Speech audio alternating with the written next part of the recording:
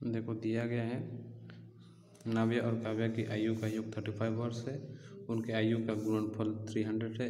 एक वर्ष बाद उन दोनों की आयु क्या होगी माना नव्य की आयु एक्स तथा काव्य की आयु वाई तो उन दोनों का योगफल कितना दिया हुआ है?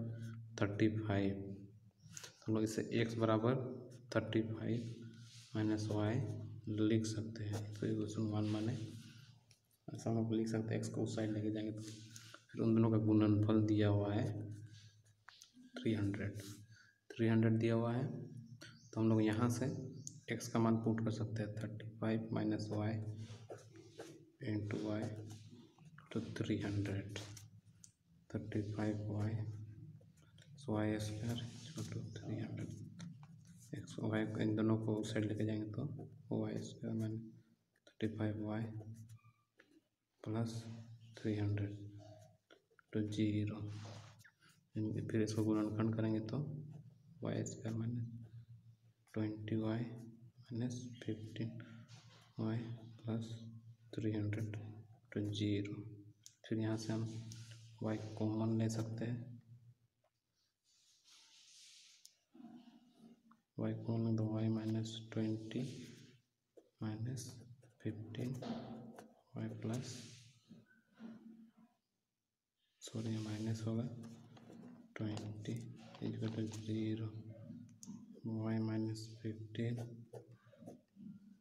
Y minus twenty zero तो वाई का वाई इजकल टू फिफ्टीन एक बार होगा and Y equal to twenty एक अगर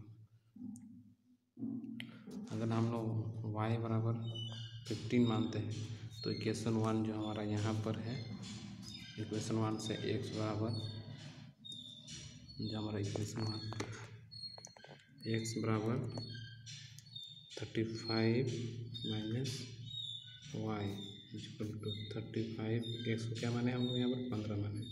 तो पंद्रह इजकल टू ट्वेंटी फिर क्या निकला? फिर अगर हम लोग को वाई को, फिर हम इधर देखते हैं वाई बराबर ट्वेंटी तो एक बराबर क्या होगा? Thirty five Y thirty five minus twenty Y बराबर फिफ्टीन यहाँ पर दोनों का कुछ नहीं दिया हुआ है तो हमें नहीं मान, नहीं कह सकते कि किसका क्या आयु है। तो फिर और क्या बोला गया है हमें? एक वर्ष बाद तो एक सौ बाद किसी का आयु इन काव्य और नव्य में से किसी का आयु ट्वेंटी है, किसी का आयु फिफ्टीन है जब वर्तमान में। लेकिन एक सौ, एक वर्ष बाद क्या होगा? ट्वेंटी से ट्वेंटी वन एंड sixteen